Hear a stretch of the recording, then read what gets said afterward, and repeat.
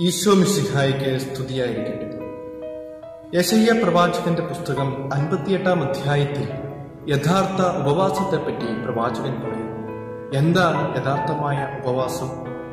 ഒരു ദിവസത്തേക്ക് ഒരുവനെ എളിമപ്പെടുത്തുന്നതോ ഞാങ്ങണ പോലെ തല കുനിച്ചിരിക്കുന്നതോ ചാക്ക് വിരിച്ച് ചാരം വിതറി കിടക്കുന്നതോ ആണോ യഥാർത്ഥമായ ഉപവാസം? ഇതാണോ കർത്താവിന് സ്വീകാര്യമായ ദിവസം എന്ന് നിങ്ങൾ വിളിക്കുന്നത്?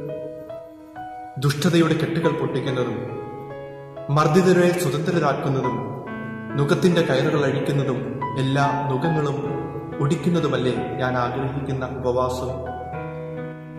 വിശക്കുന്നവനുമായി ആഹാരം പങ്കുവയ്ക്കുന്നതും പാർപ്പിടമില്ലാത്തവനെ സ്വന്തം ഭവനത്തിൽ സ്വീകരിക്കുന്നതും വസ്ത്രമില്ലാത്തവനെ വസ്ത്രം ധരിപ്പിക്കുന്നതുമല്ലേ യഥാർത്ഥമായ ഉപവാസം?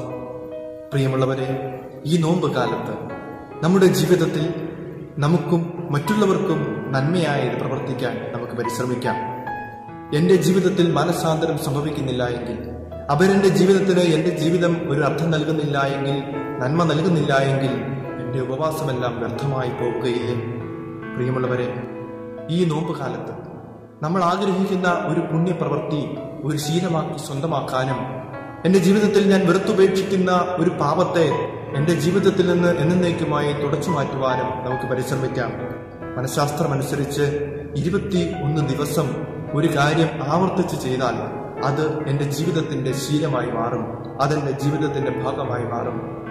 അങ്ങനെയെങ്കിൽ പ്രിയമുള്ളവരെ ഈ അൻപത് ദിവസവും നമുക്ക് ഒരു പുണ്യപ്രവൃത്തിയെങ്കിലും ആവർത്തിച്ച് ആവർത്തിച്ച് ചെയ്തുകൊണ്ട് അത് എന്റെ ജീവിതത്തിൽ വലിയ ഒരു നന്മയാക്കി ഒരു ശീലമാക്കി ജീവിതത്തിന്റെ ഭാഗമാക്കി നമുക്ക് മാറ്റാം. അങ്ങനെ എന്റെ ജീവിതം കൊണ്ട് എനിക്കും മറ്റുള്ളവർക്കും വലിയ ഉപകാരം ചെയ്യാനായിട്ട് സാധിക്കും.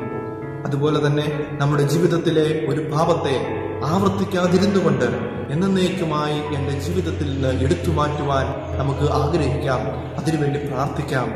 അങ്ങനെ ഒരു പാപത്തെ എന്റെ ജീവിതത്തിൽ ജീവിതത്തിൽ നിന്ന് ഇല്ലാതാക്കി ഒരു പുണ്യത്തെ എന്റെ ജീവിതത്തിൽ സ്വീകരിച്ചുകൊണ്ട് സമൃദ്ധമായ ദൈവാനുഗ്രഹപ്രദമായ ഒരു ജീവിതം നയിക്കുവാൻ ദൈവം നമ്മെ സമൃദ്ധമായി അനുഗ്രഹിക്കട്ടെ.